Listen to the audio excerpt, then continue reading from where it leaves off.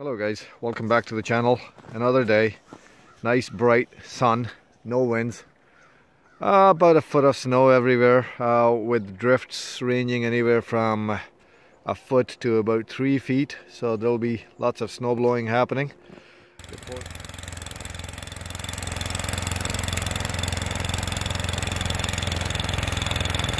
Here we have uh, one person who's feeling like it's plus 23 Plus 40, okay.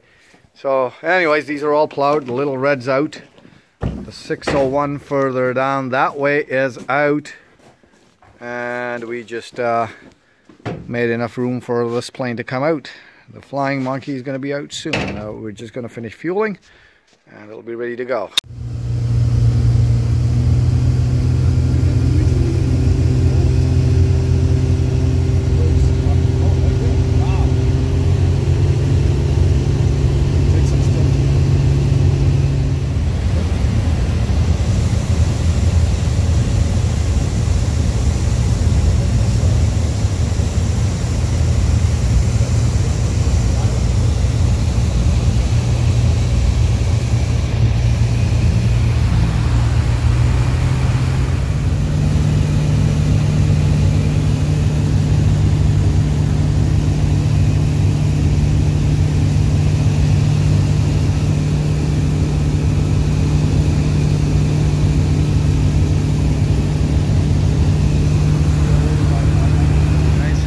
We are on Chemong Lake.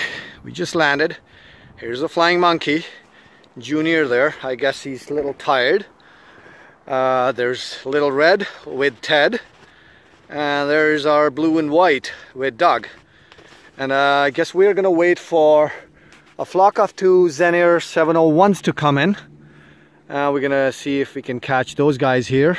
And then here's a causeway that just goes through the middle of the lake. Uh, I believe you saw that on the video.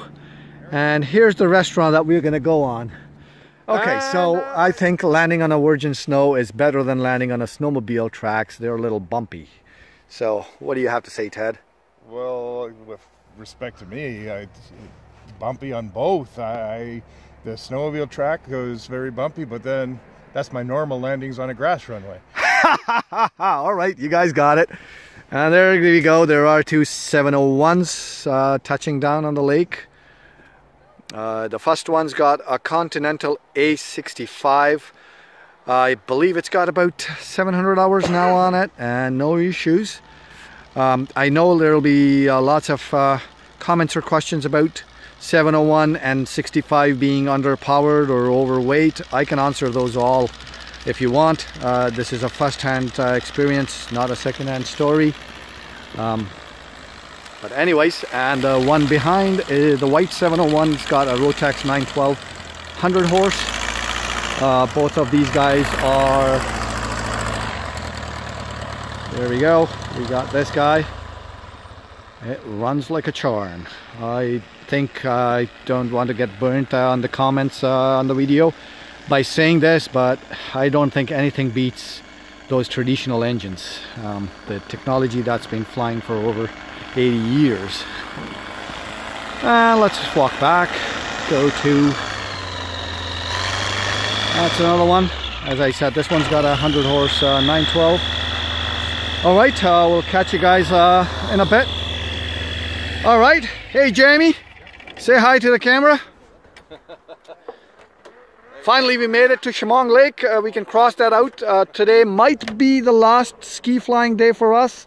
Uh, looking at the long-term forecast, it's looking like it's uh, the weather's going to warm up. So we didn't want it to miss an opportunity today because the temperature is just uh, perfect. Uh, very close to zero, but still in negative, so it's not going to melt anything. It's still powdery snow. Mr. Ted very seriously scanning the menu. And there's Jamie. Doug and Garth. Oh, there we go. That's the most confusing part to do is find something to order out of this big booklet. I don't know why they can't make it breakfast, lunch and dinner, just three items. Um, anyways, we'll see. Look at those expressions.